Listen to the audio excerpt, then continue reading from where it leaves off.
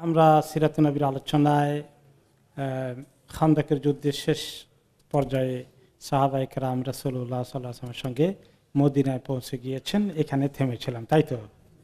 আজকে শুরু হওয়ার কথা, বনু করাইজা সঙ্গে। বনু করাইজা ইহুদিদের একটা কবিলা যারা শেষ পর্যন্ত চুক্তি ভঙ্গ করে কাফেরদের সঙ্গে ষড়যন্ত্রে লিপ্ত হয়েছিল তাদের বিষয়টাকে ডিল করার জন্যে রসুল্লাহ সাল্লাহ সাল্লামের প্ল্যান নয়। আল্লাহ তারা প্ল্যান নিয়ে জিবরেল আলাইসলাম ওনার কাছে চলে আসলেন।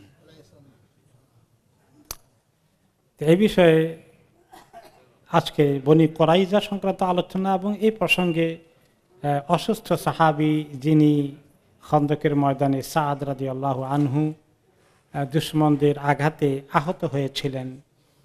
এবং তিনি প্রচুর রক্তপাত হচ্ছিল। রসুল্লাহ সাল্লাম ওনার চিকিৎসা করলেন থেরাপি দিলেন, আগুনের থেরাপি, গরম পাত, আগুনে গরম করে সেটা দিয়ে সেঁক দিলেন, ওইটাই ছিল থেরাপি তখন। কিন্তু এটা আরও বেড়ে গেল। তখন আরও রক্তক্ষরণ হচ্ছিল, তিনি বন্ধ করে দিলেন। মসজিদে নবাবিতে ওনাকে রাখা হয়েছিল চিকিৎসার জন্য, দেখার জন্য রহমকাল্লাহ পরে উনি দোয়া করেছিলেন যে, আল্লাহ, বনু কোরাইজার উপরে আপনি কি শাস্তি দেন? এটা না দেখা পর্যন্ত আপনি আমাকে দুনিয়া থেকে নিয়েন না। কারণ তিনি ছিলেন বনি কোরাইজার বিশ্বস্ত এলাই সে ইসলামের আগ থেকে। তারা যে বিশ্বাসঘাতকতা করল, উনি খুবই কষ্ট পেয়েছেন। উনি বুঝেন ওনার ইন্তেকাল হয়ে যাবে যে রক্তপাত হয়েছে, উনি বাঁচবেন না। কিন্তু আল্লাহর কাছে তামান্না করলেন যে, বনু কোরাইজার পরিণতি দেখে আমি তারপরে দুনিয়া থেকে যেতে চাই। আল্লাহ তালা ঠিকই ওনাকে একটু স্বাভাবিক করে দিলেন, বনু কোরাইজার পরিণতি ওনার হাতেই ঘটল। সেই কাহিনী আজকে আসবে ইনশাল্লাহ তো, বনু করাইদা আসলে ইহুদিদের কয়েকটা, বনু কাইনুকা, বনু করাইদা বনিল মোস্তালেক, এই তিনটি বড় বড় কবিরা ছিল। তার মধ্যে সবচেয়ে শক্তিশালী কবিরা ছিল বনু করাইজা। টাকা, পয়সা, অস্ত্রে শস্ত্রে তারা মদিনার মধ্যে সেরা। এবং তাদেরকে হাত করে ফেলেছিল। মক্কার কোরাইশগণ। আপনার শেষ পর্যন্ত তারা রাতের অন্ধকারে মদিনার চুক্তি লঙ্ঘন করে, রাহমকাল্লাহ, ওনার সঙ্গে বিশ্বাসঘাতকতা করে কাফেরদের সঙ্গে হাত মিলিয়ে ফেলল। এই খবর তো চলে আসলো। এই বিষয়ে এরপরে নবী করিম সাল্লাম কেবল মদিনায় এসেছেন। তিনি এই বিষয়ে এখনও চিন্তা করেননি। এই সময়ে তিনি যখন আসলেন, ওনার কাছে মদিনায় পৌঁছে গেলেন জিবরাইল আলাইসাল্লাম কেবল তিনি অস্ত্র শস্ত্র রেখে গোসল টোসল করেছেন, রিল্যাক্স করবেন। এতদিন মাসখানিকের কাছাকাছি খন্দকের মধ্যে তিনি এবং সাহাবিগণ পেরেশান হয়ে রাত দিন পরীক্ষা খনন করে দুশ্মনের মোকাবিলায় ঘুমোতেও পারেননি ঠিক মতো গা, গোসল, ধোয়া খাওয়া দাওয়া সব কিছুরই কষ্ট হয়েছে, আপনারা শুনেছেন। না খেয়ে ওনাদের প্যাটে পিঠে লেগে গেছে। এই না খেয়ে যুদ্ধের ময়দানে আসেন। দুশ্মন চলে গেল, আল্লাহ তালা তাদেরকে তুফান দিয়ে হালাক করে মক্কায় পাঠিয়ে দিলেন। মদিনায় এসছেন, এখন একটু রেস্ট নেবেন। তিনি রসুল্লাহ সাল্লাম কেবল গা গোসল ধুয়ে রিল্যাক্সে চিন্তা করেছেন। এই সময়ে জিবরাইল আলসালাম নাজিল হয়ে গেলেন। এসে বললেন কি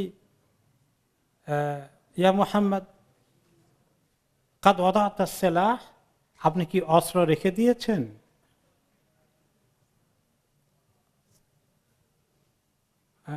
তো তখন তিনি বললেন যে আমি তো অস্ত্র রেখে দিয়েছি, এখন তো রেস্টের চিন্তা করেছি সাহাবাই কেরাম টায়ার্ড হয়ে গেছেন সবাই। তিনি বললেন ওয়াদানাহু ফখরুজ ইলাইহিম। বললেন যে, আমরা তো অস্ত্র এখন রাখিনি। তাহলে ফেরেশতারাও যুদ্ধের ময়দানে আসেন আমরা তো অস্ত্র রাখিনি। এখন আল্লাহর কাছ থেকে অর্ডার এসেছে অস্ত্র হাতে নেন, আবার যেতে হবে। ফকাল সাল্লাম ইলা আইনা? কোন দিকে যেতে হবে এখন আবার? কোন অভিযান? তাহলে এই প্ল্যান প্রোগ্রাম শুধু রসুল্লাহ সাল্লাম করেন না, কে করেন?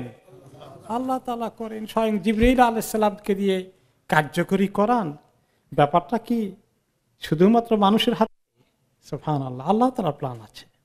এখন তো কোথায় যেতে হবে? যে ওই দিকে যেতে, ওই যে ওইদিকে কোন দিকে দেখালেন? বনু করাইজার দিকে। নবী করিম সাল্লাহ আসলাম সাহাবাদিকে অর্ডার দিলেন যে এখন ওদিকে যেতে হবে। এমনকি মা সারাদ আনহা বলেন কাহানি আমদুর ইলা জিবরিল আলহিসাল্লাম মিন খালালিল বাবে কাদ আসাবা রাসাহু মিনাল গোবার। আমি ওনার একজন লোক এসেছে, ওনার কাছে কে আসছে, কথা বলছে, মানুষের সুরত ধরে আসছেন। তা আমি দেখলাম, আসলে পরে বুঝছি উনি জিব্রিল। আমি দরজার ফাঁক দিয়ে দেখলাম মহিলারা তো মেহমান আসলে মাঝে মধ্যে দেখে। তো মা আসারও তো মহিলা রাজি আল্লাহ আনহা জামিয়ান ফাঁক দিয়ে দেখলাম, আমি জিব্রিলকে দেখে ফেলেছি যে কাদ আসা বা রাসাহু মিনাল গোবার, ওনার মাথার মধ্যে ধুলাবালিও যে পথিক যাত্রা করলে যে মানুষের সুরত আসছেন তো, লু হাওয়ার বাতাস টাতাস ওনার মাথা লেগে গেছে। ধুলাবালি দেখা যায় মাথায় আসে। তারপরে রসুল্লাহ সাল্লাহ আলিয়া সাল্লাম কানা ইনদাহা ফাসাল্লাম আলাইনা রাজুল মিন আহলিল বাইতে ও নাহনু ফিল বাইত فقام رسول الله صلى الله عليه وسلم فزعا فقمت في اثره فاذا دحيه الكلب যখন লোক একটা এসে গেলেন আমরা সবাই উনি ঘরে ঢুকে সালাম দিলেন এবং সালাম টের পেয়েই জিবরিল আলাইসলাম রসুল্লাহ সাল্লাম উঠে গেলেন উঠে গিয়ে তাকে সালাম করতে গেলেন ওয়েলকাম করতে গেলেন গেস্টকে তো আমি ফাঁকে দিয়ে দেখি, উনি তো দেহিয়াতুল কালবি এক সাহাবি ছিলেন, ওনার সুরত ধরে এসেছেন। তারপরে তিনি আমাকে বললেন কথা শেষ করে এসে যে, হাদা জিব্রিল ইয়া মুরুনিয়ান আধাবা ইলা বনি করাইদা। আয়সা শুনতে পেয়েছ? জিবরিল আলাইসলাম এসে আমাকে খবর দিলেন, বনি কোরাইদার অভিযানে যেতে হবে। অতফর নবী করিম সাল্লাহ সাল্লাম কুইক মেসেজ পাঠিয়ে দিলেন সাহাবিদের কাছে। আল্লাহ ইসল্লিয়ান আহাদুনিল আসরা ইল্লা ফি বনি কোরাইদা। আসরের সময়ের বেশি বাকি নেই তখন। তিনি খবর দিলেন, এক্ষুনি সাহাবিদেরকে বলো, দেরি করা যাবে না। সবাই রেডি হয়ে বনি কোরাইদের দিকে রওনা করে দিবে। নামাজ ওখানে গিয়েই আসর ধরবে সবাই। তারা আসরটা বনি কোরাইজায় পড়ার চেষ্টা করবে সবাই। আচ্ছা কোনো কোন রেওয়ায়তে আসছে যে জোহর পড়ার কথা বলেছেন, কিন্তু অধিকাংশ রেওয়ায়ত বলেছে যে তিনি আসর পড়ার কথা বলেছিলেন। এরপরে সাহাবিরা অনেকে ওনার সঙ্গে রওনা হয়ে গেলেন দ্রুত গতিতে, আর যারা খবর পেতে পেতে দেরি হলো, তখন তো আর এরকম টেক্সট মেসেজ হোয়াটসঅ্যাপ টেলিফোন মোবাইলের ব্যবস্থা নেই। ব্যক্তিগতভাবে খবর দিতে দিতে অনেকে দেরি হয়ে গেছে, তিনি মেসেজ দিলেন যে যে, যত তাড়াতাড়ি পরে আসো, আমার সঙ্গে যারা জয়েন করবে এখনই আসো। বাকিরা তাড়াতাড়ি আসো, ওখানে আসর ধরার চেষ্টা করো। তো সাহাবাই করাম রওনা করে দিলেন, ওনার সাথে যারা চলে গেলেন, ওখানে গিয়ে বনু করে যে আসর ধরবেন। বাকিরা একটু লেট হয়ে রওনা করতে করতে পথিমধ্যে আসরের ওয়াক্ত হয়ে গেল। আর ওনারা ক্যালকুলেশন করে দেখলেন যে বনু করা যায় পস্তে পস্তে আসরের অনেক লেট হয়ে যাবে, অথবা কারও কারও আসর মিস হয়ে যেতে পারে। তো এই লেটের সাহাবিরা পথিমধ্যে ওনারা চিন্তা করলেন যে এখন তো আসরের টাইম হয়ে গেছে আসর তো পড়া দরকার, ফরজ নামাজ। অপর দিক থেকে নবী করিম সাল্লাহ আলী আসাল্লাম বলেছেন, ওইখানে গিয়ে আসর পড়তে আমরা কোনটা করব। এক তো অনেক দেরি হয়ে যাবে, নামাজকে তো তিনি দেরি করতে নিষেধ করেছেন। বহু হাদিস আছে এই বিষয়। আর যদি নামাজ ইনকেস কাজা হয়ে যায়, ফকল ফকরা, ওকে? তো তাদের মধ্যে দুই গ্রুপ হয়ে গেলেন। এক গ্রুপ নামাজ পড়লেন যে, না, আমরা নবী করিম সাল্লামের কথার উদ্দেশ্য হচ্ছে তাড়াতাড়ি সেখানে পৌঁছা। নামাজ তো আর তিনি কাজা করতে বলেননি, লেট করতে বলেন নামাজে কতক্ষণ সময় যাবে? আমরা নামাজ পড়ে ফেলি। ফরজ নামাজ। এটাই তো স্পিরিট ওনা থেকে আমরা শিখেছি দিন। তো একদল সাহাবি নামাজ পড়ে ফেললেন। আরেক দল সাহাবি বললেন, তিনি তো এখনও জিন্দা আছেন। আল্লাহ তাল্লাহ বলছেন, আল্লাহ যা বলেন তা, তাঁর রসুল যা বলেন, কথা শুনো। উনি বলছেন, ওখানে আসে পড়তে আমরা এখানে পড়ব কেন? আসা পড়া ঠিক হবে না। দুই এই একতলাফ হয়ে গেল। তো একতলাফ খালি এখনকার আমাদের মধ্যে হয়, ইমামদের মধ্যে হয়, সাহাবিদের মধ্যে এখতলাফ হয়েছে। দুই দল হয়ে গেল, এক দল নামাজ পড়লেন, আরেক দল পড়লেন না। এখন কে রাইট কে রং এইটার ফয়সালা কোথায় হবে? রসুল্লাহ সাল্লাহ কাছে। তো যাই হোক এখন দুই দল গিয়ে বলেন, যারা, ওরা তো আপনার কথা শুনে নাই, নামাজ পড়ে ফেলছে। বাকিরা বলেন, তারা তো নামাজকে দেরি করে ফেলছে। ওকে। ওকে। এখন যারা ওনার কাছে দুই কেসি বলা হলো, তবে নবী করিম সাল আলী ওয়াসাল্লাম তাদের উভয়কেই ফয়সলা দিয়েছেন। ওকে। যারা পড়েছিলেন তাদের তো অনেক বড় শক্ত দলিলও আছে। একটা হাদিস কি আছে? যে ব্যক্তি আসরের নামাজকে মিস করে ফেলল। তার পরিবার, পরিজন, মাল, দৌলত সব ধ্বংস হওয়ার থেকে আরও খারাপ কাজ করেছে। কোনো কোনো রেওয়াজ আছে, ফাঁকাত হাবিতা আমালুহু। তাদের আমল সমস্ত বরবাদ হয়ে গেল। এই স্পিরিটকে সামনে নিয়ে ওনারা আমল করেছিলেন। তো পরে তিনি ফয়সালা দিয়েছেন। ফয়সালা দিলেন যে, তোমরা কেউই মিস্টেক করনি, দুইজনের ইশতেহাত ঠিক আছে, এটা এখানে ইশতেহাত করেছে তোমরা। যারা নামাজের স্পিরিটকে সামনে রেখে আমার অন্যান্য হাদিদুলকে সামনে রেখে পড়েছ, তারাও কোনো কিছু রং করনি। আর যারা আবার কথা আমল করেছ, আমি জিন্দা আছি এখনও, আল্লাহ তালা বলেছেন, আমার কথা শুনতে শুনেছ তোমরাও রং করনি। তবে যারা পড়ে ফেলেছ আর অন্য কোনো কারণে দেরি করনি, তাদের শানটা ভালো হয়েছে।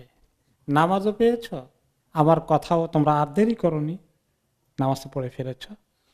আর এখান থেকে ওলামা কেরাম একটা কায়দা নিয়েছেন উসুলের, সেটা হচ্ছে আল মুস্তাহিদু ইদা আখত আল্লাহু আজর, ওয়া ইদা আসব আল্লাহু আজরানি। কোনো ব্যক্তি দিনী বিষয়ে ইশতেহাদ করেছে, বিশেষ করে ইমাম আলেমদের পর্যায়ে, মোস্তাহিদ আলেমরা। ইশতেহাদ করতে গিয়ে যদি কোনো ফর্মুলা মিস্টেকও করে ফেলেন, আল্লাহর কাছে সেটার জন্য গুণা তো হবেই না আবার এক নেকি হবে। আর যারা ইশতেহাদ করতে গিয়ে রাইটায় পৌঁছে গেছেন, তাদের ডবল নেকি হবে। যাই হোক, নবী করিম সাল্লাম মদিনার দায়িত্ব দিলেন আবদুল্লাহ ইবিন উম্মে মাকতুম রাজু আল্লাহ আনহু অন্ধ সাহাবির হাতে। ওনাকে, ওনার ইমাম বানিয়ে গেলেন এবং স্থলাভিষিক্ত করে গেলেন। এরপরে ওনারা চলে গেলেন বনি করাইজের দিকে। তিনি তখন ওই ফ্ল্যাগ ক্যারি করা ওনার বাহিনীর দায়িত্ব দিলেন আলী এবনে আবি তালেব রাজি আল্লাহ তালা আনহুর সাথে। আর তিনি তো আগে চলে গিয়েছিলেন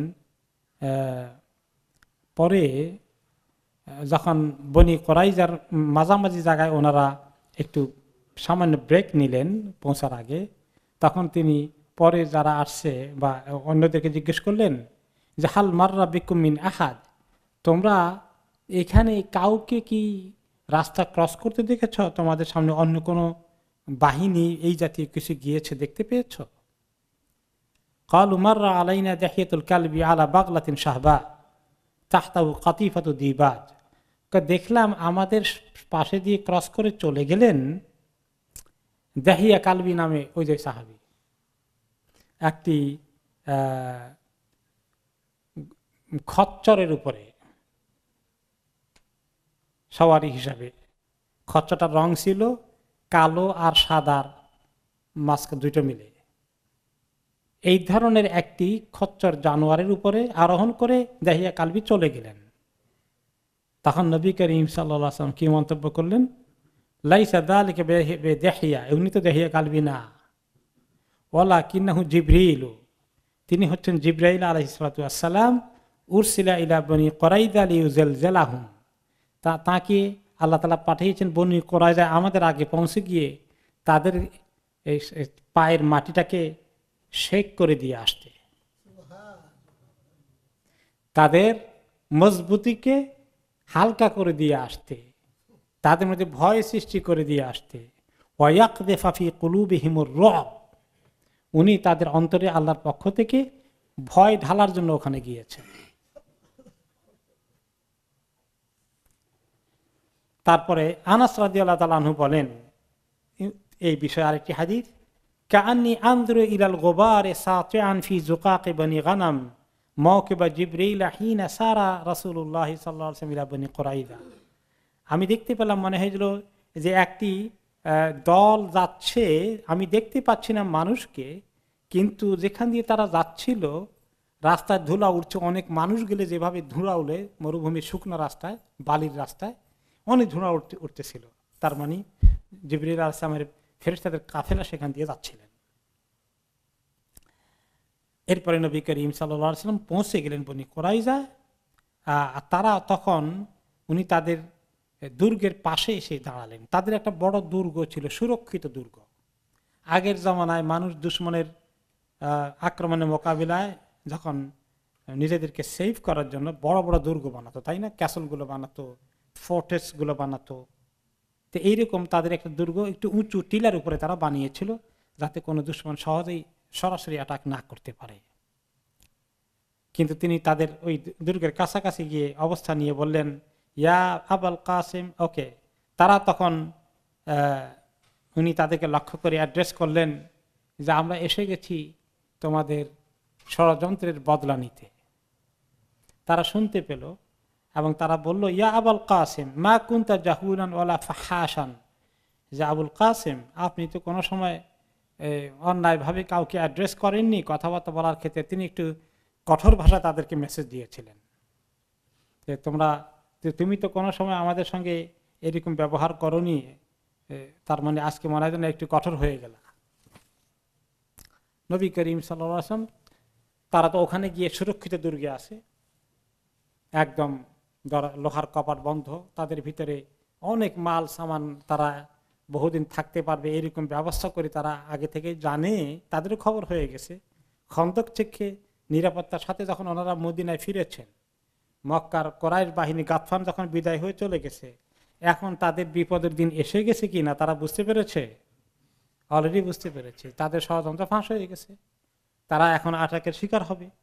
তখন তারা অলরেডি ভিতরে ঢুকে ফেলল। আর তারাও কিছু তাদের চট্টর আছে খোঁজ খবর নিয়েছে।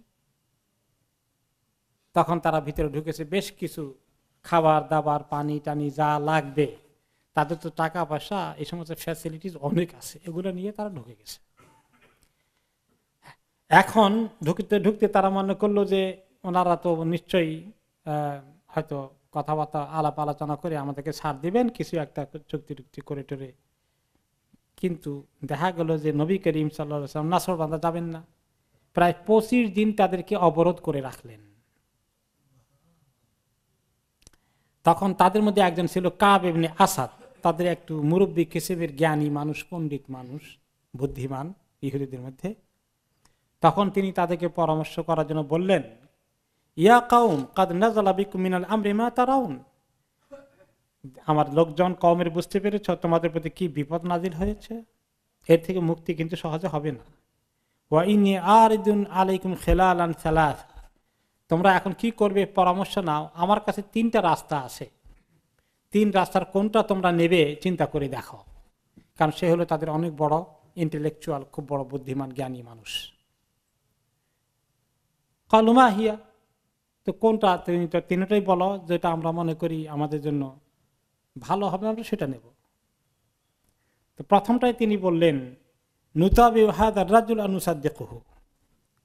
এই ব্যক্তি, অর্থাৎ মোহাম্মদ সাল্লা আসলামের অনুসরণ করি তার উপরে বিশ্বাস করি এখন করি, সব মুসলিম হয়ে যায়।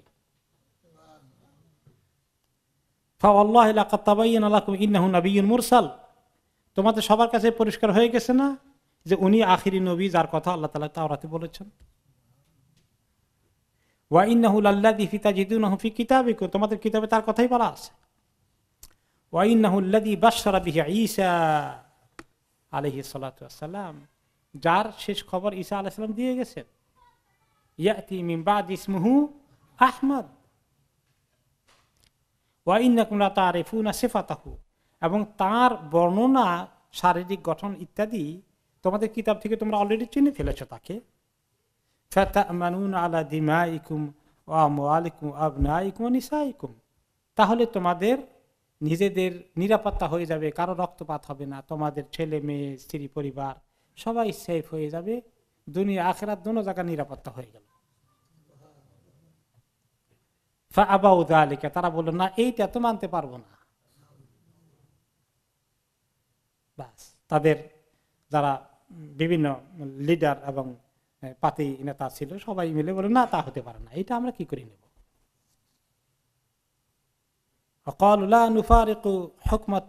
আবাদান ওরা নাস্তাবদিল বিহি গাইরাহু আমাদের তাওরাত কিতাব বা দিয়ে কোরআন নেব নাকি?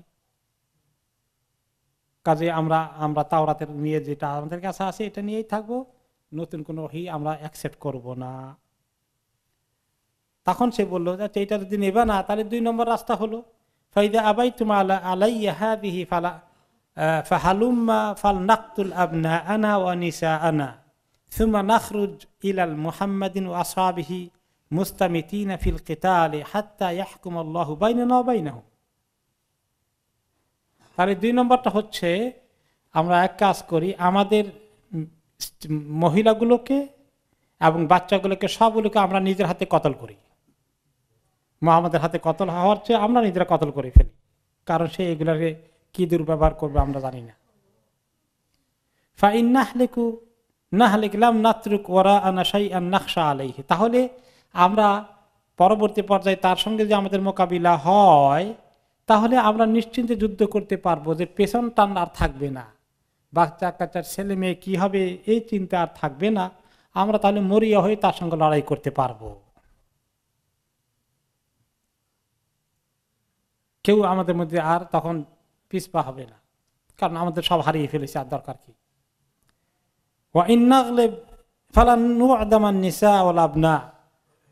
সে আবার বলে, তো এখন যদি বিজয় লাভ করি যুদ্ধে যান দিয়ে লড়াই করে, তাহলে তো তোমরা বলবা, তো বিজয় লাভ করলাম, এখন নিজেদের ছেলে মেয়ে, স্ত্রী পরিবার নিজেরাই কতল করে শেষ করে দিচ্ছি তো এখন লাভ হলে কি যুদ্ধে বিজয় করে?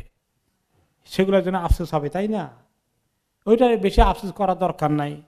কার, আমরা চাইলে দুনিয়ার মধ্যে আমাদের আরও বহু ইহুদি জাতি টাতি আছে, বিয়ে সাথে করতে পারব বউ হবে বাচ্চা কাচ্চাও হবে, অসুবিধা নাই।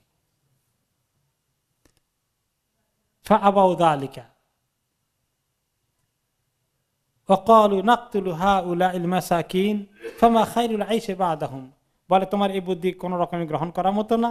নিজের হাতে নিজেদের স্ত্রী পরিবারকে, বাচ্চাদেরকে জবাই করব। আর তো ওদের পরে এই মিসকিন, এই অসহায় মানুষগুলোকে আমরা আমাদের হাতে জবাই করব। তো তাদের পরে আমাদের বেঁচে থেকে আর লাভ কি হবে? কয়, দুই নম্বরটা তাহলে মানলা না। তাহলে তিন নম্বরটা শোনো। ফাইন আবাই তুমি আলাইহা দিহি তিন নম্বরটা যদি শুনতে চাও, তাহলে হচ্ছে এই ফাইন আল্লাইলাত আলাইলাতু সাবতে ওয়াইনহু আসা আইয়াকুনা মুহাম্মাদান ওয়া আসহাবহু قد আমানুনা ফিহা, ফানজিলু লাআল্লানা নুসিবু মিন মুহাম্মাদিন ওয়া আসহাবিহি গাররাতান, আও গিররাতান। কথাটা এক কাজ করো, আজকে তো শনিবার রাত। তারা মনে করবে, আমরা ইহুদিরা এই শনিবার রাতে কোনো যুদ্ধ করি না, কোনো কাজও কিন্তু তারা করে না। যারা জেনুইনলি ইহুদি আকিদায় বিশ্বাস করে, তারা শনিবারে কোনো কাজ করতে পারবে না, সব কাজ হারাম তাদের শরীয়তে। চাকরি করা হারাম, ব্যবসা করা হারাম, সব হারাম। এবং আমি বলছিলাম আপনাদেরকে একবার, আমাদের ওই থ্রি ফেইথ ফোরামের এনএইচএস এর ডাক্তার, নার্সরা লন্ডনের এক জায়গায়। এই ব্রাডি সেন্টারে একটা কনফারেন্স হলো যে বিভিন্ন ধর্মীয় বিভিন্ন ধর্মের রোগীদের ধর্মীয় রিকোয়ারমেন্ট কি আছে হসপিটালগুলো কনসিডার করা উচিত। এটা শুনতে চাইল। তো ইহুদি সম্প্রদায়ের একজন প্রেজেন্ট করলেন, খ্রিস্ট সম্প্রদায়ের একজন প্রেজেন্ট করলেন, আর মুসলিম সম্প্রদায়ের পক্ষ থেকে আমি প্রেজেন্ট করলাম যে আমাদের রোগীদের প্রয়োজন কি? তো পাঁচ ওয়াক্ত নামাজ পড়া লাগে উজু করা লাগবে উজু করতে না পারলে তাইমিং করা লাগে, কেউ কেউ আবার রোজা রাখে, ইত্যাদি আমরা এগুলো বললাম আর কি। তারপরে হালাল খাবার খেতে হয়, ওষুধের মধ্যে আবার হারাম ইনগ্রেডিয়েন্ট না থাকে, এগুলো আমরা বললাম আর কি। আমাদের মহিলারা পর্দার সাথে থাকতে চায়, তারা মহিলা ডাক্তার পছন্দ করে, কমপক্ষে তাদেরটা ঘেরাও দিয়ে রাখা, পর্দার সঙ্গে থাকা সেপারেট বেড হলে ভালো হয়, এগুলো বলল তো খ্রিস্টানরা তাদের কিছু বলল, কি বলল তাও আমার মনে নেই, বেশি সুবিধা করতে পারে নাই। তো ইহুদিটা উঠে বলল কি আমাদের অনেক রোগী যারা সিরিয়াস ইহুদি, তারা শনিবারে কোনো কাজ করে না। যারা আশেপাশে আছে তাদের কাজ করে দিতে হবে। এমনকি লিফটে উপরে উঠবে, নিচে নামবে, লিফটের বাটনটাও সে প্রেস করতে পারবে না। এটাও তার জন্য হারাম। বলে, তাহলে কি করবে? তারা করে কি নর্মালি শনিবারে? লিফটের কাছে দাঁড়িয়ে থাকে, কেউ আসে খোলে কিনা? তাহলে গিয়ে ঢুকে আর কি। অ্যাম্বুলেন্সে কল করে না। যাই দেখেন ইজুল ভাই বললেন। অ্যাম্বুলেন্সে কল করে না, এটাও একটা কাজ। সোফান আল্লাহ কি শক্ত শরীয়ত আল্লাহ তাদেরকে দিয়েছিলেন। আর আলহামদুলিল্লাহ বলেন, আল্লাহ তালা আমাদেরকে কত হালকা শরীয়ত দিয়েছেন।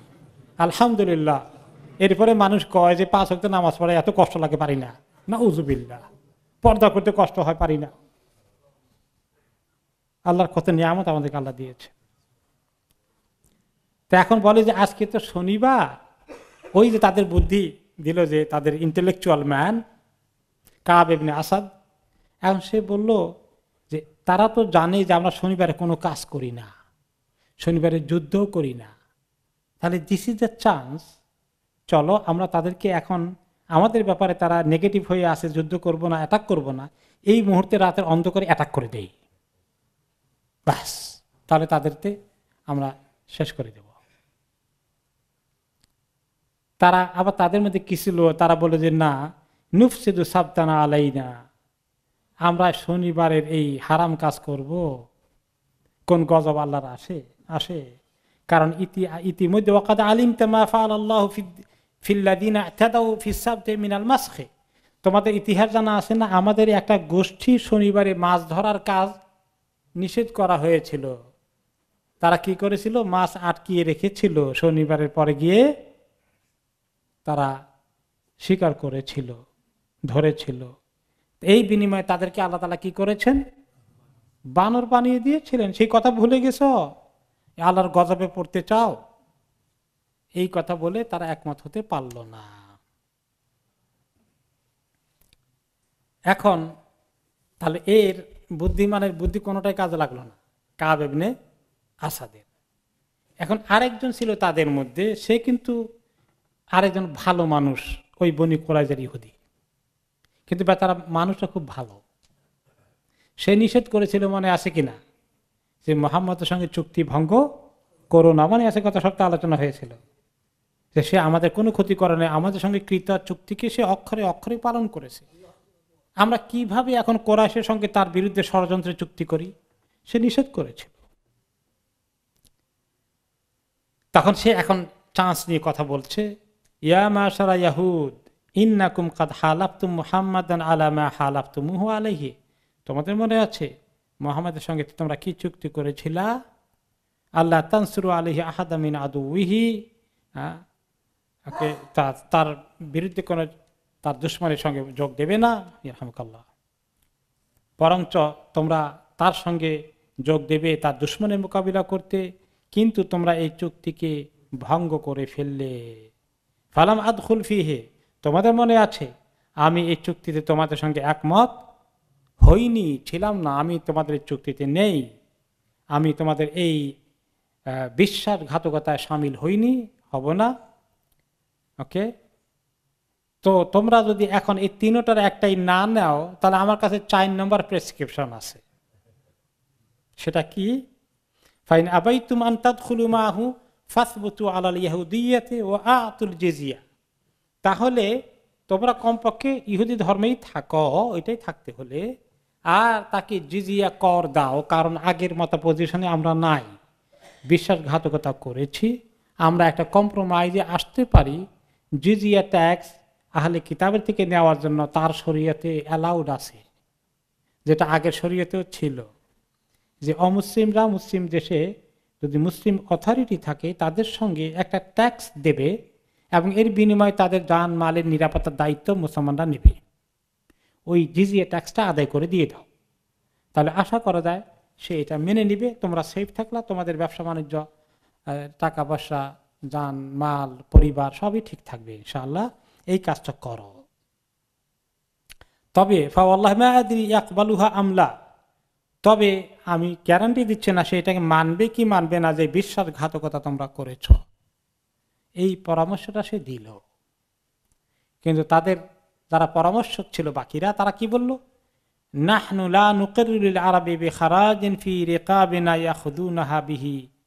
আল কাতলু তারা বলে, বসল, এই আরবরা, তারা আরবদেরকে মনে করত সেকেন্ড ক্লাস সিটিজেন তারা লেখাপড়া জানা মেজরিটি বেদুইন। এবং তাদের এত বৃত্তশালীও তারা নয়, টাকা, পয়সা, ব্যবসা, বাণিজ্য, অস্ত্র শস্ত্র, সব কাজ কারবার আমাদের হাতে। ওরা ওদেরকে আমরা ট্যাক্স দিয়ে থাকব। এটা কোশ্চিন কালেও হবে না। তার চেয়ে যদি যুদ্ধ করতে গিয়ে মরেও যায়, সেটা ভালো। এরপরে এই কথা তার যখন শুনল না, সে আমার এমনি সাদি, বনি করাজের এই লোকটি বলে বসল ফা ইন্নি বাড়ি মিনকুম খারাজা। যে আমি তোমাদের সঙ্গে একমত, কিছুতেই হতে পারলাম না। এই কথা বলে সে সেখান থেকে বেরিয়ে গেল। ওই যে বেরিয়ে গেছে, তারপরে সে কোথায় গেছে এখনও জানা যায়নি। সে তাদের বিশ্বাসঘাতকতা সামিল হয়নি। ইসলাম কবুল করেনি ঠিকই, কিন্তু ভালো মানুষ হিসাবে সে তাদেরকে পরামর্শ দিয়েছিল এবং নবী করিম সাল্লামের সঙ্গে বিশ্বাসঘাতকতা না করার পরামর্শ আগে দিল। এখন ওনার সঙ্গে চ্যালেঞ্জে না গিয়ে কম্প্রোমাইজের পরামর্শটা কমপক্ষ দিল, উভয় পক্ষে রক্তপাত থেকে বেঁচে যাবে, এটাও তারা শুনল না। এরপরে তারা বরঞ্চ কি করল? নবী করিম সাল্লামের কাছে তারা আলাদা একটা পরামর্শ করে একটা প্রস্তাব পাঠালো। সেটা কি? যে এর আগে বনু নাদির গোত্রের সঙ্গে যে পরামর্শ হয়েছিল, যে তাদের এখান থেকে তারা এই দেশ ছেড়ে চলে যাবে অন্য কোথাও কোনো জায়গায়? এখানে আর থাকবে না। কিন্তু তাদের সাথে করে তাদের ছেলে মেয়ে বাচ্চা কাচ্চাকে নিয়ে যাবে এবং তাদের সঙ্গে যা কিছু মাল টাল উঠে করে নিয়ে যেতে পারে তা নিয়ে যাবে। ইল্লাল হালাকা, তবে অস্ত্র তারা নিবে না। এটাও তারা কম্প্রোমাইজের প্রস্তাব দিয়েছে। অস্ত্র শস্ত্র রেখে শুধু খাবার দাবার, টাকা পয়সা, তাদের যা আছে সোনা গয়না, এই সমস্ত রসদপত্রগুলো তারা নিয়ে যাবে। নিয়ে অন্য কোনো দিকে তারা চলে যাবে। নবী করিম সাল্লি সাল্লাম এই প্রস্তাব ফেরত দিলেন। কারণ তারা বড় ষড়যন্ত্র করেছে। এই প্রস্তাব তাদের সঙ্গে তিনি অ্যাকসেপ্ট করেননি। নিশ্চয়ই আল্লাহ তালার ইঙ্গিত রয়েছে এই প্রস্তাব অ্যাকসেপ্ট না করার। ওকে তারপরে তারা শেষ পর্যন্ত বলল যে, তাহলে ঠিক আছে, অস্ত্র তো নেবই আমাদের টাকা পয়সা, মাল, দৌলতে, অনেক কিছু রেখে যাব। কোনো রকমের যা দরকার সেগুলো নিয়ে চলে যাই। কিন্তু নবী করিম সাল্লাহ সেটাও রাজি হননি। এটাও আল্লাহ তালার ইঙ্গিতে তিনি করেছেন। তখন তারা চিন্তা করল, এখন উপায় কি বাঁচার? ইতিমধ্যে তো জিব্রিল আলাইসালাম এসে তাদের দিলের ভিতরে কি সৃষ্টি করেছেন? ভয় সৃষ্টি করে দিয়ে গেছেন আল্লাহ এখন তাদের কনফিডেন্সের অনেক কমতি হয়ে গেছে। তখন তারা বলল, এক কাজ করি, আমরা মোহাম্মদ সাল্লাহ কাছে পরামর্শ দেই যে আমাদের একান্ত মিত্র ছিল যে আউস গোত্র, কবিলার, সাদ যেটা লিডার, সাদের সঙ্গে আমাদের একটা সম্পর্ক আগে থেকে আছে। এই এই গোত্রের সঙ্গে আমরা তাদের মিত্র ছিলাম জাহিলি পিরিয়ডে তার সঙ্গে আমরা যোগাযোগ করি, তারা আমাদের জন্য একটু ফেভার করুক সুপারিশ করুক, দেখি আমাদের পক্ষে কোনো ফয়সালা নিয়ে আসতে পারে কিনা। তখন তারা বলল যে ওই গোত্রের একজন আছে আবু লুবাবা। তিনিও আউস গোত্রের। আবু লুবাবার সঙ্গে আবার তাদের একটা ভালো সম্পর্ক ছিল। আবু লুবাবা রাদি আল্লাহ আনু মুসলিম হয়েছেন, অনেক আগেই। আউস কবিলার সদস্য তিনি ছিলেন, কি, ইসলাম বহু আগেই কবুল করেছেন। তিনি সিনসিয়ার সাহাবি, একজন মুখলেস মানুষ। তারা পার্সোনালি ওনার সঙ্গে তাদের আবার আরেকটি অ্যাগ্রিমেন্ট ছিল ইসলামের আগে। তিনি তাদের একান্ত মিত্র ছিলেন। বিশ্বস্ত ছিলেন। তার সঙ্গে খুবই সম্পর্ক ছিল, ঘনিষ্ঠ। বলে যে ওনাকে একটু পাঠান, ওনার সঙ্গে আমরা একটু পরামর্শ করে আপনাকে জানাই যে আমরা কি করতে পারি। আমাদের উনি একটু ওনার সঙ্গে পরামর্শ করি, উনি আমাদের একান্ত বিশ্বস্ত। নবী করিম সাল্লাম পাঠালেন ফালামারা আউহু কামা ইলাহি রেজাল ও জাহাসা ইলাহি নিসা ও সিবিয়ান ইয়াবকুনা ফি ওয়াজহিহি। তো আবু লুবাবা যে আসলেন, তাদের এই দুর্গের ভিতরে তাকে দেখে সবাই ওয়েলকাম করতে দাঁড়িয়ে গেল এবং মহিলা বাচ্চারা এসে তার পায়ের কাছে এসে কান্নাকাটি শুরু করে দিল যে, তুমি আমাদের প্রাণ ভিক্ষা দেওয়ার ব্যবস্থা করে দাও। এখন এই তাদের কান্নাকাটি দেখে ওনার দিলটা নরম হয়ে গেল। ফারাক্কা লাহুম। অকালু লাহু, ইয়া আবালু বাবা আতরা আন্নানজেলা আলা হকমে মোহাম্মদ? তোমার পরামর্শ কি? তুমি যদি বলো যে মোহাম্মদ সাল্লা সাল্লাম যেটা সিদ্ধান্ত দেয় সেটা মেনে নেওয়ার জন্য কি আমরা মত দিয়ে দেব? উনি তো বলছেন যে ওনার ফয়সালাই, চূড়ান্ত ফয়সালা আমাদের এই কোনো প্রস্তাবে তিনি রাখেননি। তিনি বললেন হ্যাঁ ফয়সালাটা তো ওনাটাই রাখতে হবে। মুখে এটা বলেছেন ও আশার বিয়াদিহিল হালাকিহি কিন্তু তিনি তার ইশারা করলেন গলার দিকে যে তোমাদের গরদান কর্তন হয়ে যাবে। অর্থাৎ নবী করিম সাল্লামের কাছে এই ফয়সালাটা আছে। বললেন যে, এই চাষা তোমাদের গতি না, আর ফয়সালাটা এইটা। এখন এতে কি মেসেজ হলো? উনি তাদের প্রতি দয়া পরবশ হয়ে গিয়েছেন, তোমাদের জন্য অপেক্ষা করছে মৃত্যুদণ্ড। তো এটা তো ওয়ার্নিং হয়ে গেল। এটা তো এক ধরনের তাদেরকে মেসেজ দেওয়া হয়ে গেলে তোমাদের পরিণতি কি হতে পারে? কিন্তু এটা তো গোপন খবর। এবং এতে তারা সিদ্ধান্ত নিতে পারে যে আমরা আত্মসমর্পণ করব না।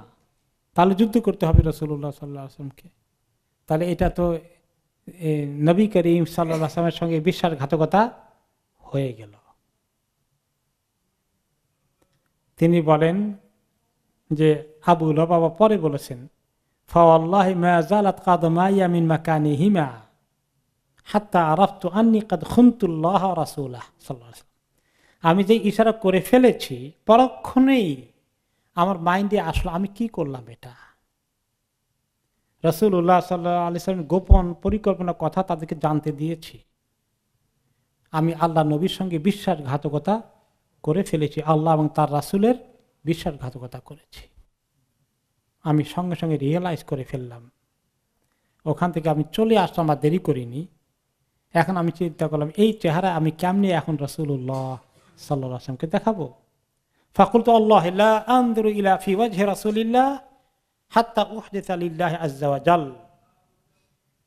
নাসুহান ইয়ালামুহা আল্লাহু মিন নাফসি। যে আমি ওনার সামনে আর যাব না। আমি এখনই এমন এক তওবা করব আমার আল্লাহর কাছে। যে তবাকে কবুল করে আল্লাহ তালা আমাকে ডিক্লার করবেন যে আমি আল্লাহ আমার তবা কবুল করেছেন, এই পাপের আমার ক্ষমা আল্লাহ করে দিয়েছেন। এই খবর না পাওয়া পর্যন্ত এই চেহারা আমি আল্লাহ নবীকে আর দেখাবো না। সাহাবিরা ভুল করলে ওনারাও মানুষ ছিলেন, ভুল করেছেন। কিন্তু আল্লাহ তালা ওনাদের ভুলের অনুশোচনা কি পরিমাণ দিয়েছেন? ওনার ঘটনা দেখেন। অতবার তিনি আর নবী করিম সাল্লামের কাছে ফেরত না এসে সোদা মসজিদে না বইতে চলে গিয়েছেন। এবং সেখানে গিয়ে মসজিদের একটি পিলারের সাথে নিজের গলায় রশি লাগিয়ে নিজেকে বেঁধে ফেলেছেন। ওকে একটা খেজুরের খুঁটি ছিল, খেজুর গাছের কাণ্ডের সেই খুঁটির সঙ্গে ওনাকে বেঁধে ফেললেন। আর বললেন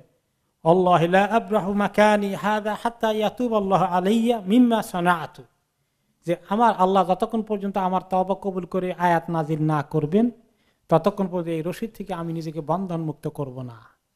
সবাইকে বলে দিলেন যে আমার এই দুরবস্থা হয়েছে, আমাকে আমি বেঁধে থাকব। শুধুমাত্র নামাজের সময় হয়ে গেলে তোমরা আমার রশি খুলে দেবা, উজু করে আমি নামাজটা পড়ব, আবার এই বন্দির মধ্যে আমি এসে ঢুকবো।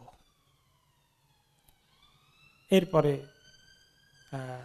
আল্লাহ রাবুল আলমিন আয়াত নাজরি করেছেন পরে সে না আয়াতের মধ্যে পরে আমরা আসবো তবে একটি অংশ আছে কি বা দাউদুবিল্লাহমিন শৈতান রাজিম يا أيها الذين آمنوا لا تخونوا الله والرسول وتخونوا أماناتكم وأنتم تعلمون তো তওবার হয়েছে এক পর্যায়ে সেটা পরে আসতেছি যে সেখানে আল্লাহ তালা বলেছিলেন হে ইমানদারগণ তোমরা কখনো আল্লাহ এবং তার রাসুলের খেয়ানত করো না আর এই খেয়ানত করলে তোমরা আমানতের খেয়ানত করে ফেললে। জেনে বুঝে খবরদার এই কাজ তোমরা কখনো করো না। নবী করিম সাল্লাম খবর পেয়ে গেলেন। আবুল বাবা এই কাজ করে ফেলেছেন।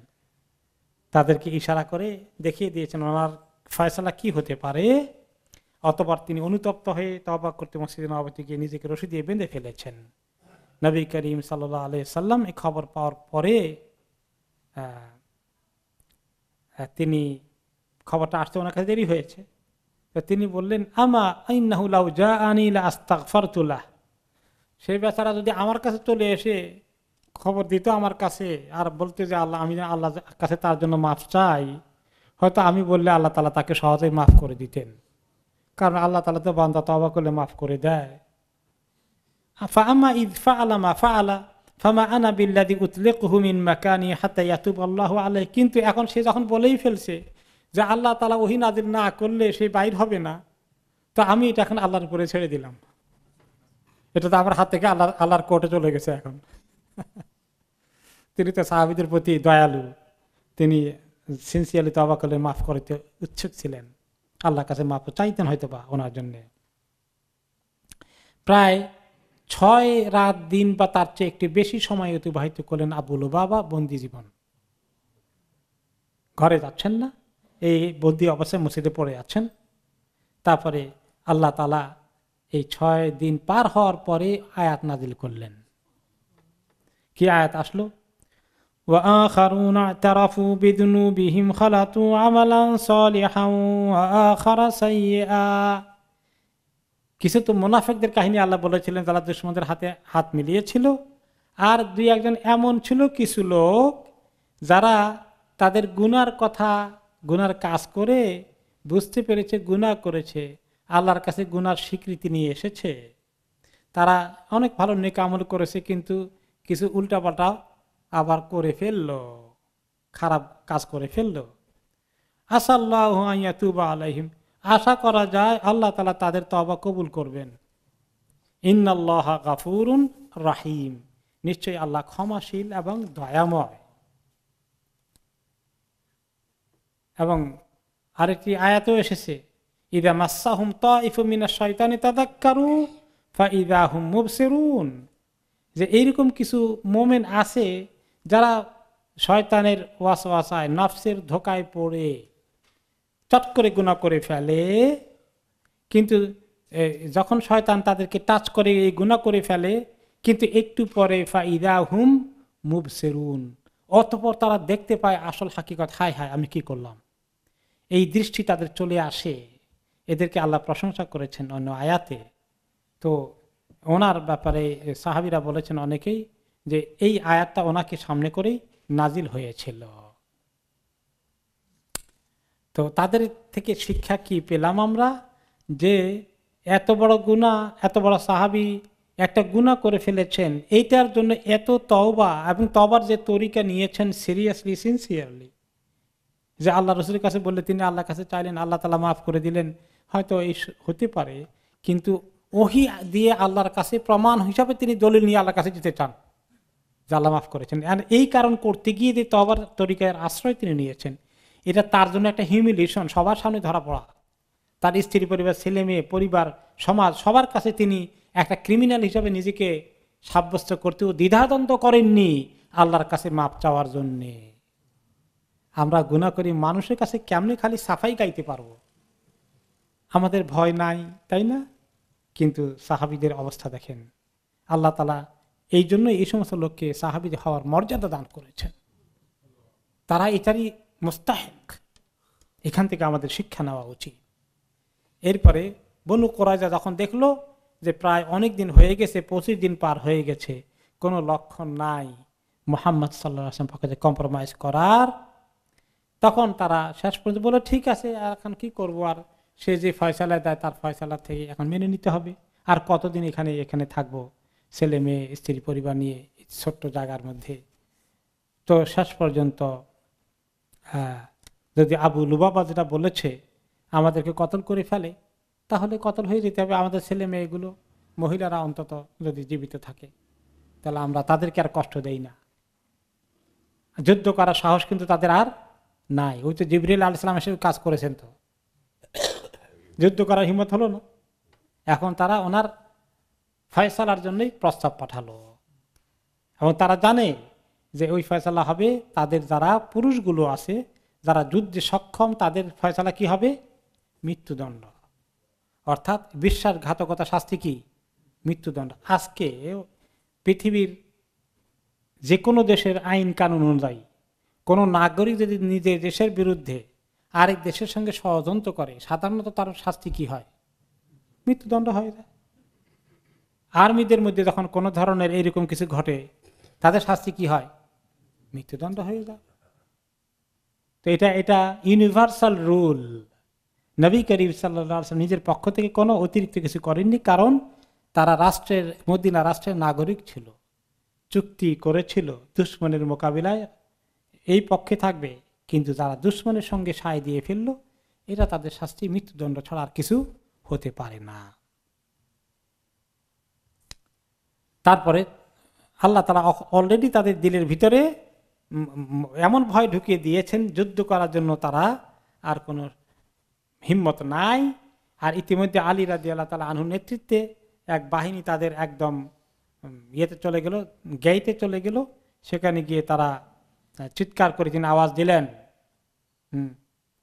এবং সেখানে আরেক সাহাবি ছিলেন আলী রাজি আল্লাহ আনহুর পাশাপাশি আহ, জবাইর ইবনে আবহাম রাদিয়াল্লাহু আনহুম ওনারাও অকল আল্লাহ হামজাতু আলা ওনারা দুই দিন হুঙ্কার দিলেন, আমরা এখনই তোমাদের এই দরজা খুলে ভিতরে ঢুকবো। আর হয়তো আমরা শহীদ হয়ে যাব যেভাবে হামজা রাদিয়াল্লাহু আনু শহীদ হয়েছেন, তা না হলে তোমাদেরকে আমরা ইনশাআল্লাহ সেখানে ঢুকে যে শাস্তি তোমাদের পাওয়ার যোগ্য সেটাই করব। অথবা না হলে তোমরা রসুল উল্লাহ সাল্লাহ আসলামের যে ফয়সালা তুমি সে ফয়সালার জন্য রেডি হয়ে যাও। তখন তারা ওনার ফয়সালা মানতেই পরামর্শ দিলেন আর কিছু যদি করার নাই, ওনার ফয়সালাই আমরা মেনে নিব। তখন তিনি হুকুম দিলেন যে তাদের যারা সক্ষম ছিল, যুদ্ধের জন্য প্রস্তুত ছিল, যুদ্ধ করার মতো ছিল এই বয়সের প্রায় চারশো মতো তাদেরকে আলাদা করা হয়ে গেল এবং মহিলা বাচ্চাদেরকে মুক্তি দেওয়া হয়ে গেল। রহমতুল্লাহ এবং পরে তাদের মৃত্যুদণ্ড কার্যকরী করার হুকুম তিনি দিলেন। ওনাদের সঙ্গে তখন আওস গোত্রের কিছু লোক এসে বললেন, ইয়া রাসুলাল্লাহ, ইন্নাহুম কানু মাওয়ালিনা হুলাফা আনা যে তারা ছিল আমাদের একান্ত মিত্র আপনি মদিনাতে আসার আগে। ওয়াকাদ ফাআলতা ফি মাওয়ালি ইখওয়ানিনা আল খাজরাজ মা কাদ আলিমতা। ইয়ানুনা বনি কাইনুকা আল খাজরাজ ফানাজালু আলা হুকমিহি ওকে তো নবী করিম সাল্লাম সেখানে কিছু কম্প্রোমাইজ করেছিলেন যে আমাদের আরেক গোত্র হচ্ছে খাজরাজ। তাদের সঙ্গে বনু কৈনুকা যে ইহুদি গোত্র ছিল, তাদের চুক্তি ছিল, মিত্র ছিল তারা। তাদেরকে আপনি কিছু ছাড় দিয়েছিলেন বনু কৈনুকাকে খাজরাদের মাধ্যমে। এদের বিষয়ে আমাদের সঙ্গে আপনি কিছু আওস গোত্রের লোকদেরকে, যেহেতু তারা আমাদের গোত্র, তাহলে আমাদেরকে আপনি এই সুযোগ দেন। ওকে নবী করিম সাল্লাহ আলি সাল্লাম তখন যে আমরা তাদের ব্যাপারে একটা ফয়সালা দেই। নবী করিম সাল্লাহ আসলাম পক্ষ থেকে ফাইনাল ফয়সালা তিনি তখনও দেননি। ওই সিদ্ধান্তের কথা তিনি আলোচনা করেছেন মাত্র। ওনারা বললেন, তাহলে এটা দায়িত্ব আমাদেরকে দেন। যেভাবে খাজাদের দায়িত্ব দিয়েছে দায়িত্ব দিয়েছিলেন বনু কাইনুকা। তখন তিনি বললেন আল্লাহ তার দু তাউনা, ইয়া মাশাল আউসে আন ইয়াহকুমা ফিহিম রাজুল মিনকুম? তখন নবী করিম সাল্লাহ আসলাম বললেন, যে তাহলে আমি তোমাদের মধ্য থেকে একজনকে যদি বাছাই করি, ফয়সালা দেওয়ার জন্য তোমাদের পক্ষ থেকে, তোমরা কি সেটা রাজি হবে? তোমাদের একজন ফয়সালা দিয়ে দিবে। তখন আউস গোত্রের লোকেরা বললেন, বালা, আমরা অবশ্যই রাজি হয়ে যাব। আপনি আউস গোত্রের কাউকে দায়িত্ব দেন। ফকাল সাল্লাহ ফজাকা ইলা আনহু। তাহলে আমি তোমাদের মধ্যে থেকে তোমাদের লিডার ইবনে মুআদকে আমি সিলেক্ট করছি। সে যে ফয়সালা দেয়, আমি সেই ফয়সালা মেনে নেব। ইবনে মুআদ এই সময় কোথায় আছেন? মসজিদ নববীতে ওনার চিকিৎসা হালতে আছেন। তো ওনাকে খবর দেওয়া হলো, উনি আসলেন, একটা গাধায় চড়ে আসলেন এবং সেখান থেকে ওনাকে নামানো হলো। সবাই, ওনার আওয়াজ গোত্র লোকেরা সবাই চলে আসলেন। ওনাকে ঘিরে ধরলেন। আওয়াজ কবিলার যারা ছিলেন বাকি, সাহাবিদের মধ্যে, তারা বললেন যে বনু কাইনুকাকে যেভাবে খাজরাত গোত্রের লোকেরা ডিল করে কোনো রকমে চলে যেতে দিয়েছে আপনিও এটা করে করে দেন। আপনি আমাদের লিডার হলাফা উকা মাওয়ালিকা ওয়াহলুল নিকায়াতে ওমান কাদা আলিমতা, যে এরা তো হচ্ছে আপনার আমাদের গোত্রর একান্ত এলাই তারা একটা ষড়যন্ত্র করে ফেলেছে, আপনি জানেন? তো আপনি মেহরবানি করে কোনো রকমে তাদেরকে পার করে দেন, নিরাপত্তা সহকারে চলে যাক ফেলাম্মা একসারু আলাইহে, যখন তারা বারে বারে এসে তাদের মধ্যে সবাই না, কিছু লোকে বারে বারে ওনাকে বলতেছে, ওদেরকে ছাড় দেন ছাড় দেন ছাড় দেন। এখন সাদ রাদিয়াল্লাহ আনহু, তিনি তো অনেক উঁচু মানের সাহাবি। তার ইমানের শক্তি, ইমানের বল অনেক উঁচু। এখন তিনি বললেন নিজেকে লক্ষ্য করে বলেন। লাকাদ আন সাদিন আল্লাহ একটু জোরেই বললেন সবাইকে শুনে যে, এইবার সময় এসে সাদের পরীক্ষা এসেছে। সে আল্লাহর হুকুম, আল্লাহর পথে সঠিক কাজ করবে না অন্য মানুষের কথায় সে ইনফ্লুয়েন্স হয়ে যাবে। সাদের এখন পরীক্ষা চলছে, জোরেই কথাটা বললেন, যাতে ওনার আওস গোত্রে সবাই শুনতে পায়। এই কথা শোনার পরে আওস কবিরার অনেকেই তখন চিন্তা করলেন, না, আমরা বোধহয় কিছু অন্যায় পরামর্শই তাকে দিচ্ছি। মনে হয়, না, এটা আমরা ঠিক কাজ করছি। তো অনেকেই পিসপা হয়ে গেলেন। আর এই মুহূর্তে যখন সাদ পৌঁছে গিয়েছিলেন যখন উনি ঠিক যেখানে নবী করিম সাল্লা সাল্লাম সাহাবিদেরকে নিয়ে ক্যাম্প করে আছেন, ওইখানে পৌঁছলেন, গাধার পিঠে উঠে তখন নবী করিম সাল্লাহ সব সাহাবিদিকে সামনে করে বললেন কুমুল ইলা সাইয়েদিকুম আও খাই রেকুম ফা আঞ্জেলু উঠো, সবাই দাঁড়াও, তোমাদের লিডারকে নামাও, সম্মান করে তাকে নামাও। তো এখন ওই দাঁড়াতে বলছেন, এখান থেকে কোনো ভিআইপি আসলে দাঁড়াবো কিনা সবাই? এটা তো দলিল পাওয়া ছিল এই আহমকাল্লাহ এটার ব্যাখ্যা করেছেন ওলামাই কেরাম, বলেছেন যে উনি অসুস্থ ছিলেন ওনাকে নামানোটা ধরে নামাইতে হবে। উনি একলা নামতে পারবেন না। উনি তো একেবারে মৃত্যু পথের যাত্রী। আল্লাহ তালা ওনাকে বনু করা ফয়সালার জন্য শুধু আটকিয়ে রাখছেন।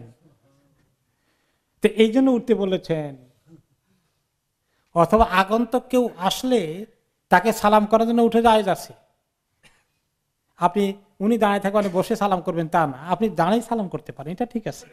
কিন্তু সবাই একযোগে দাঁড়াইতে হবে। গোটা মজলিস এইটা নবী করিম সাল্লাম নিজের জন্য অ্যালাউ করেনি সাহাদের জন্য আপনি অ্যালাউ করবেন? যে আসলে সবাই উঠে যাবে। কাছে আসি হ্যাঁ আপনি আমি দাঁড়িয়ে সালাম করতেছি, কিন্তু সমস্ত মজলিস উঠে যাবে। এখন এখানে যদি, এখন অনেক বড় কোনো ব্যক্তিত্ব এখান দিয়ে ঢুকে, আর সমস্ত মুসলিম মুসলে দাঁড়িয়ে যাবেন? এইটা ইসলামের আদব নয়। যাই হোক। তো অমর খাত্তাব রাদি আল্লাহ আনহু, উনি তো সচেতন আছেন, এতক্ষণ বনি আওয়াসের লোকেরা যে কি বসবাস ওনাকে দেওয়ার চেষ্টা করেছে দৌড়ে গিয়ে, উনি এ ব্যাপারে সচেতন আছেন। তিনি চলে গেলেন সাহাদের কাছে, বললেন, তিনি মন্তব্য করলেন অমর আদিল আনু একটি তেজস্বী ছিলেন। আপনারা জানেন সেটা। তিনি বলে বসেন আর সাইদ হু আল্লাহ সাইদ তো আল্লাহ। কৌমুলি সাইদকে তিনি বলছেন যে রসুল্লাহ সাল্লাহ সাল্লাম ওনার কথার উপরেই বলে ফেলেন অমর খাতাব রাদি আল্লাহ আনু আসল সাইদ তো আল্লাহ আমাদের। ওকে তারপরে সবাই গেল। এরপরে নবী করিম সাল্লাহ ওনারা যখন নামালেন, ওনাকে কয়েকজনে মিলে ধরে আমি নবী করিম সাল্লাহ কাছে বসালেন। তিনি তখন ওনাকে বললেন, সাদ রাদিয়াল আনুকে ইন্নাহা উলা ইন্না জালু আলা হুকমিকা। তারা আপনার ফয়সালাকে অ্যাকসেপ্ট করতে রাজি হয়েছে। আপনি তাদের ব্যাপারে কি করণীয়? আমার পক্ষ থেকে কি ফয়সলা করা উচিত, এইটার ফয়সলা আপনি করে দেন। সাদ রাজিয়াল্লাহ হুকুম দিলেন, ফাইনি আহকুম ফিহিমান তুকতলা মুকাতেলা তাহুম আমি, আমার ফয়সালা হচ্ছে তাদের যুদ্ধে সক্ষম ব্যক্তিগুলো যারা যুদ্ধ করার জন্য প্রস্তুত, এই লেভেলে আছে, তাদের সবার মৃত্যুদণ্ড কার্যকরী করতে হবে। বাকি আরও কিছু কথা বললেন। আর বাকি তাদের সবকিছু গণিমতের মাল হিসাবে মুসলমানদের জন্য বন্টন করা হয়ে যাবে। এই মন্তব্য রায় শুনে রসুল্লাহ সাল্লাম বললেন, লাকাদ হাকাম তা ফিহিম বেহকমিল্লাহিমিন ফৌকে সাবে সামাওয়াত। তুমি কি ফয়সলা দিয়েছে জানো? যেই ফয়সলা আল্লাহ তালা সপ্ত আকাশের উপরে উঠে ফয়সলা করে রেখেছেন, সেই ফয়সলাটি তুমি দিয়েছ। তাহলে রসুল্লাহ সাল্লাম নিজে একজন শক্ত হৃদয়ের অধিকারী দিলে দয়া, মায়া নাই নাউজুবিল্লা এরকম মনে করার কোনো কারণ নেই। কারণ রসুল্লাহ সাল্লাহ নিজে পার্সোনালি অনেক দয়ালু, এটা ঠিক। কিন্তু তিনি নিজেও এখানে কার ফয়সালা পালন করবেন? আল্লাহর ফয়সালা। এবং সেই ফয়সালাটাই আল্লাহ তালা কার মুখ দিয়ে বের করেছেন? সাদ রাদিয়াল আনু মুখ দিয়ে বের করেছেন এবং তাদের এই ফয়সালা কার্যকরী করা হলো, আল্লাহর ফয়সালা তাদের ব্যাপারে কার্যকরী হয়ে গেল। তো তাদের মধ্যে একজন নাম করা লিডার ছিলেন ওখানে তো ওই গোত্রের আন্ডারে কিছু আবার সাব গোত্র আছে, সাব কবিলা আছে। তাদের একটা কবিলার গোত্রের নেতা হচ্ছে হইয়াই ইবনে আখতাব, যে হচ্ছে সাফিয়া রাজি আল্লাহ আনহার পিতা। হইয়াই ইবনে আখতাব ইহুদের একজন বড় লিডার তার কথা মনে আছে। তারা দুই ভাই গিয়েছিলেন রসুল্লাহ সাল্লাহ আসলামের সঙ্গে দেখা করতে উনি নবী হিসাবে যখন মদিনায় এই হিজরত করে আসলেন। যে চলো আমরা দেখি আসি জন্য ভাই গিয়ে সে আসলে নবী কিনা। যখন দেখে আসছিল, এসে বাড়িতে আসার পরে ছোট ভাই, বড় ভাই হলো হইয়া ইবনে আখতাব লিডার। বলে ভাই, কি বুঝলেন? এই খবর আমরা কার কাছ থেকে পেয়েছি? সাফিয়া রাজিয়াল আনহা পরে বর্ণনা করেছেন যে, আমি ঘরে ঢুকে আমার চাচা আমার আব্বাকে জিজ্ঞেস করে, কি বুঝলেন? এ কি আসলে আখিরি নবী? তখন হই আপনি আস্তা করতে আল্লাহ, আল্লাহর কসম, সেই আসল নবী যার কথাই তাওরাতে আসছে। তাহলে কি ইমান আনবে না তার সঙ্গ দেবেন না? আল্লাহর কসম, তার প্রতি ইমান আনব না, সঙ্গ দিব না, তার সঙ্গে লড়াই করব। তার দুশ্মনী করব। মনে আছে সেই কথা? এই হচ্ছে হিয়াই ইবনে আখতাব। সে ছিল অন্যতম লিডার যার সঙ্গে আবু সুফিয়ান দূত পাঠিয়ে কনভিন্স করেছে, তার মাধ্যমে বনি কোরাইজাকে রাজি করানো হয়েছে বিশ্বাসঘাতকতা করার জন্যে।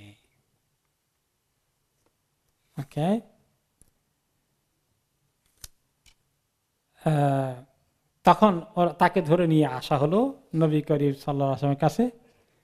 তখন সে যখন এত শক্ত অবস্থা নিচ্ছিল নবী করিম সাল্লা আসলাম তাকে লক্ষ্য করে বললেন হাল আখজাক আল্লাহ হইয়াই কি মনে হয়? আল্লাহ তালাকে তোমাকে অপমানিত করলেন? কি বুঝলা? ফাকাল হইয়াই লাকাত দহারতা আলাইয়া। অফকোর্স তুমি তো কামিয়াব হয়ে গেলা, মোহাম্মদ। তোমার বিজয় হয়ে গেল। আমা আল্লাহ মালুম তো নাফসিফি আদাওয়াতেক। তবে তোমাকে বলে রাখি, তোমার যে দুশ্মনী করেছি, এটার জন্য আমি একটুও অনুতপ্ত না। I don't care about this OLA কিন্নাহুমান ইয়াহুদুলিল্লাহ ইহুদাল কিন্তু কি করব? কিসমতে নাই। আল্লাহ যাকে অপমানিত করেন, সে তো হয়েই ছাড়বে। আমার কপালে কুলালো না। তোমার উপরে বিজয় লাভ করতে। তুমি বিজয় লাভ করে ফেললা।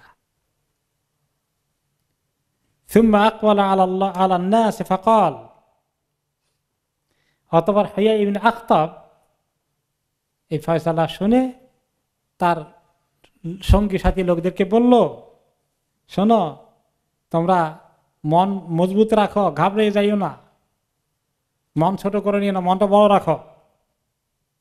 ইন্নাহুল্লাহ আসাবি আমরিল্লাহ আল্লাহর হুকুম যখন হয়ে গেছে, এটা মেনে নাও। কিতাবুন ও কাদারুন ওমাল হামাতুন এটা কিতাব ফয়সালা হয়ে গেছে আল্লাহর কাছে, কদরে তাকদিরে লেখা হয়ে গেছে। আর এই রক্তপাত এটা আমাদের ঘটবেই, এটাও লেখা হয়ে গেছে। কেতাবাহ আল্লাহ আলা বনি ইসরাইল বনি ইসরায়েলের জন্য আল্লাহ এটা ফয়সলা করে রেখেছেন, কি করবা? মেনে নাও। কিছু কিছু কাফের আছে, মজবুতি, সাংঘাতিক। মানে শেষ মুহূর্তেও তাদের টনক নড়ে না। যেরকম কিছু আল্লাহর বান্ধব আছে দিনের পথে মজবুত থাকে, কিছু কাফের আছে কুফুরির পথেও মজবুত থাকে, তাদের কোনো শেকিং হয় না। এইভাবে হইয়া পরবর্তী পর্যায়ে হইয়া আখতাবের ইয়া হয়ে গেল, শাস্তি কার্যকরী হয়ে গেল। এখন ওই যে একটা ছিল, তাদের মধ্যে ভালো পরামর্শ দিয়েছিল, ভালো লোকটা কথা মনে আছে? তার নাম কি? আমর এমনি সাদি, আমর ইবনে সাদ আল কোরাদি আমার, তার খবর কি? তার খবরটা ঐতিহাসিকরা বলেছেন, যে খারা জাফি খারাজাফি তিলকাল্লাইলে আমর ইবনে সাদ আল কোরাদি ওই রাতেই সেই বেচারা তাদের এই দুর্গ থেকে পালিয়ে গেল, চলে গেল, প্রস্থান করল। ওকে فمر بحرس الرسول صلى الله عليه وسلم وعليه محمد مسلمة تلك الليلة فلما رآه قال من هذا সে যখন ওখান থেকে পার হয়ে যাচ্ছে কোন নিরুদ্দেশ চলে যাবে তখন ওখানে নবী করিম সাল্লামের সিকিউরিটি বাহিনীর কিছু লোকজন ওই এরিয়া পাহারা দিচ্ছিল তাদের লিডার ছিলেন মহাদিন মাসলাম রাদি আল্লাহ আনহু তারা একে দেখলে একটা মানুষ আছে জিজ্ঞেস করলেন কে তুমি কলা আনা আমর ইবনু সাদি আমি ওই লোক। হ্যাঁ ওকে। ওকানা, সে নিজে তিনি বলেছিলেন যে, আমি লা আকদিরুবি মোহাম্মদিন আবেদান। আমি মোহাম্মদের সঙ্গে কখনো বিশ্বাসঘাতকতার চুক্তিতে সই করব না। এই কথা বলেছিলেন। মোহাম্মদ এমনি মাসলামা তখন বললেন, যখন চিনতে ফেললেন এ হচ্ছে বনু করাজের ওই লোকটি। আল্লাহ তাহরিমনি একালাতে আতারাতিল কেরাম। যে আল্লাহ ভালো লোকদের সম্মান রাখার কাজটা থেকে আপনি আমাকে বঞ্চিত করেন না যেন। অর্থাৎ আমার মধ্যে আপনি তাদের প্রতি, বনি কোরাইদের প্রতি আমাদের যে রাগ গোসা আছে এটা ঠান্ডা করে দেন, কারণ সেই বেচারা পজিটিভ ছিল।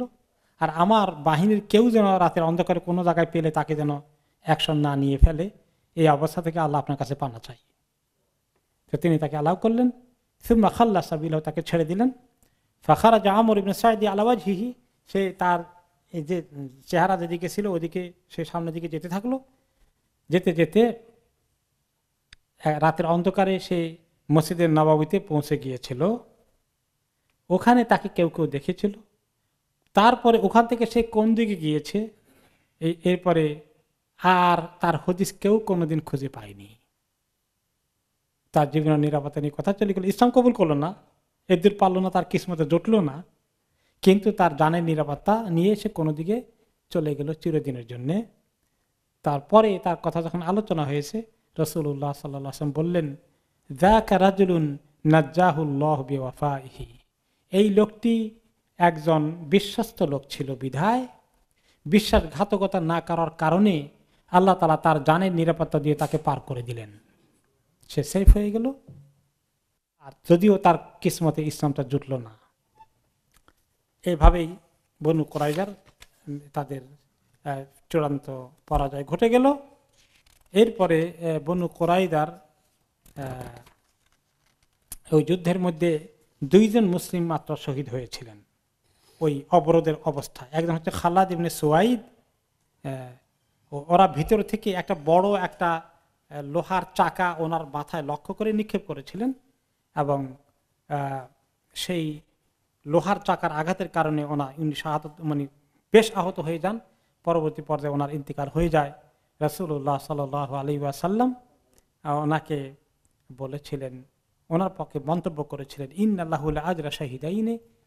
আল্লাহ তালা ওনাকে দুইজন শহীদের পুরস্কার ওনাকে একলাই দেবেন। আর দ্বিতীয় শহীদ হয়েছিলেন আরেকজন, তিনি হলেন সেনান মহসেন। আর সেনান মহসান বা ওক্কা সাহেবনি মহসানের ভাই। তিনি কোনো একটি ওদের স্নাইপার আঘাতের কারণে ওনার ইন্তেকালে হয়ে যায় বনু কোরাইজাকে ঘেরাও করা অবস্থায়। বনু কোরাইজার মৃত্যুর পরে বা বনু কোরাইজার এই পরাজয়ের পরে মদিনা ইহুদিদের শক্তি চূড়ান্তভাবে শেষ হয়ে গেল। দুইটা বড় শক্তি ওনার দুশ্মনী করছিল, একটা হলো ইহুদি শক্তি আরটা হলো মুনাফেক শক্তি। তো ইহুদিদের শক্তি যখন দুর্বল হয়ে গেল, মোনাফেকরাও অনেকটা দুর্বল হয়ে সাইজ হয়ে গেল। পরবর্তী পর্যায়ে তারাও বড় কোনো মোনাফেকি আর করতে পারেনি। আব্দুল ইবিন উবাই সহকারে বা তাদের যে অনুসারী ছিল, তারা আর সুবিধা করতে পারেনি। এই পর্যায়ে আল্লাহ তালা সাদ রাদিল আনহুকে কি মর্যাদা দিলেন? ওনার ইন্তেকাল কীভাবে হলো? ওনার ইন্তেকালে আল্লাহর আরস কীভাবে কেঁপে উঠেছে? সে খবর আমরা আগামী সপ্তাহে শুনব ইনশাল্লাহ আজকে আমরা এখানে শেষ করি। وبالله التوفيق. سبحانك اللهم وبحمدك أشهد أن لا إله إلا أنت أستغفرك وأتوب إليك.